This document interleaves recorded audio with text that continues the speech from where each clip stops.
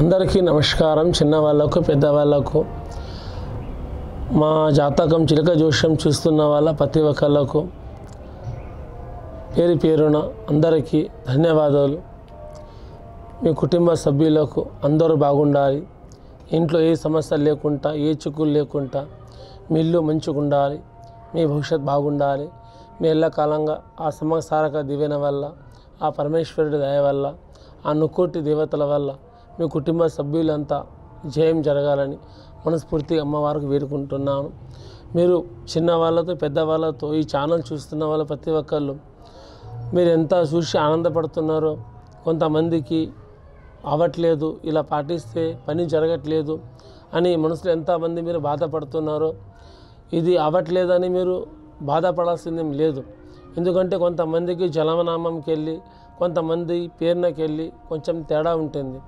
అలా కాబట్టి తన జలమనామం ప్రతి ఒక్క రాశి పన్నెండు రాశులు ఇప్పుడు చూస్తున్న వాళ్ళకు ఇప్పుడు చూపించుకున్న వాళ్ళకు ఇప్పుడు చిలకమ్మ ఏం తీసిందో జూన్ నెల రెండు వేల ఇరవై రెండు సంవత్సరంలో పట్టమ చిలకమ్మ ద్వారా ఏం తీసిందో మా పన్నెండు రాశుల వరకు జాతకం చూశాము.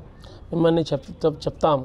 ఇప్పుడు ఎలాగుందో మీ జాతకం తెలుసుకుందాం. ఈ ఈ జూన్ నెల లోపట చిలకమ్మ ఏం తీస్తుందో ఈ పన్నెండు రాశుల జాతకం ఎలాగుందో ఇప్పుడు చూద్దాం. దామ్మ జూన్ నెల తులారాశి వాళ్ళ జాతకం ఎలాగుంది ఎలా ఉంటుంది ఎలా అవుతుంది చూడమ్మా. అనుకున్న ప్రయత్నాలు నమ్ముకున్న ప్రయత్నాలు శుభాలు ఉన్నాయా లేవా చూడమ్మా.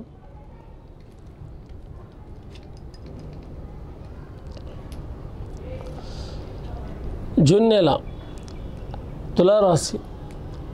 కానీ వాళ్ళు ఎక్కడ పోయినా తులారాశి ఉన్న వాళ్ళకు తక్కలాగానే ఉంటుంది వాళ్ళ జాతకం. వంగదు జోకదు నిలవదు దాగదు అన్నట్టు. కూర్చుంటే రాజబుద్ధి లేస్తే కానీ మంత్రుల బుద్ధి. కానీ చే- చేద్దామన్న పని చేస్తారు కాదన్న పని కాదు. ఇది వరకు పైసా ఖర్చు లేనిపోని ఇబ్బందులు లేనిపోని చికాత్తులు లేనిపోని నష్టాలు లేనిపోని సమస్యలు.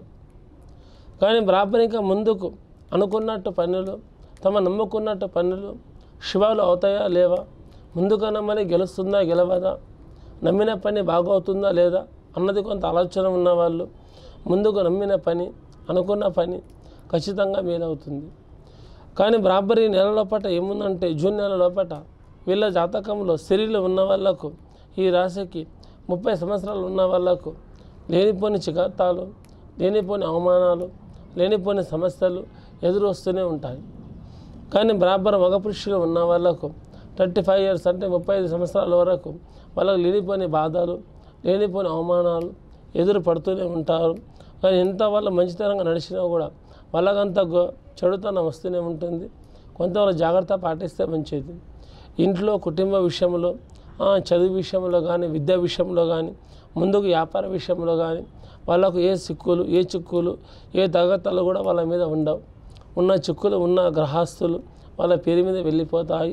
ఇప్పుడు ముందుకు ఏది అనుకున్నా కూడా వాళ్ళకు ఆ దేవుడి దయ వల్ల భాగ్యమే అవుతుంది కానీ అపఘ భాగ్యం అయితే కాదు. ఏం పర్లేదు ప్రస్తుతానికి మంచిగా ఉంది.